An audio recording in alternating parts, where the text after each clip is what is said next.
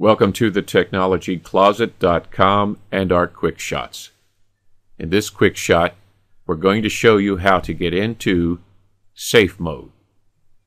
Safe mode is used primarily by technical people to help diagnose problems related to Windows 8.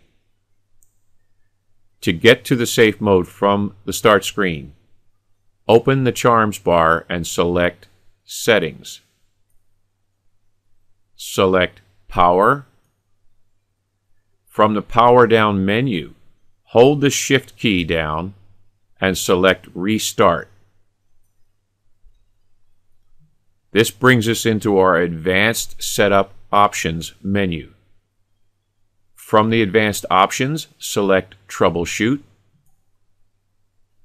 Select Advanced Options.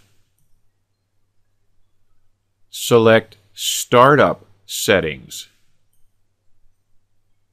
This describes what we will be doing in the setup uh, startup settings and what we will be able to get and select. Notice we will be able to select Safe Mode. Restart. Now this will restart Windows into the start startup settings. Our mouse is no longer uh, active. We must select the uh, key. In this case, we're going to select number 5, Enable Safe Mode with Networking. Enter our password.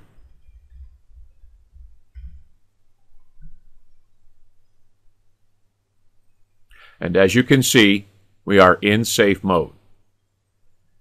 Notice that the background is different. It's black. Notice also that it opened up a help and support window describing how we would use safe mode. Let's go back to our startup screen. Looking at the startup screen, you would not know that we are still in safe mode. How do we know? Go back to your desktop, and we're still there. Go back to Windows Start Screen, and close down Windows to restart.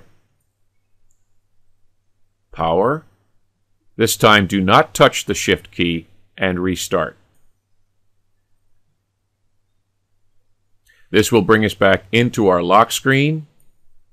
Enter our password. We are now back at the start screen. You can tell that we're at the start screen and look at our desktop and you can see that we have our background uh, back. If we click on the desktop, we are now out of safe mode and back into our standard operating system. Well, that concludes this quick shot.